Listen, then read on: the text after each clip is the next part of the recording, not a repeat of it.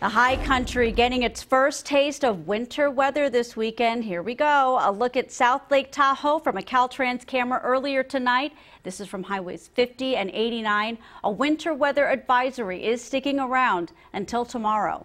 CBS 13's Heather Jansen is in Nyack with the latest conditions.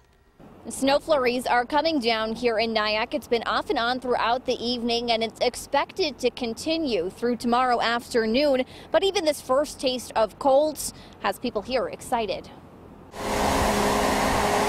whenever you start hearing that sound, it's always exciting. The snow machines at Boreal preparing for the season ahead, coating the now brown hills with white, and skiers like India Vanini can't wait. Um, that's why we live in Truckee, so just to ski. So we're so excited. We live there full time, but we came there mostly to ski. So. Even those that love it, no snow can pose problems, especially on the highway. I've had had terrible things happen to friends in, in this type of weather.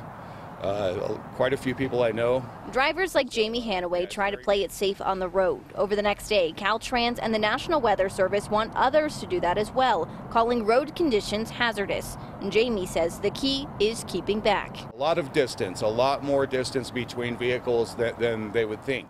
On those roads tonight, travelers like Charles Smead. We live in downtown San Francisco, so it's a nice change of pace hoping to get a breath of fresh Tahoe air and instead of sunshine, soak up the snow.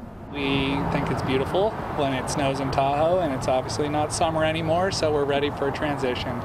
Other Caltrans cameras show snow starting to stick in other areas, uh, but not so much on the roads, though that can change in a matter of minutes. And Caltrans says it's likely chains will be required overnight.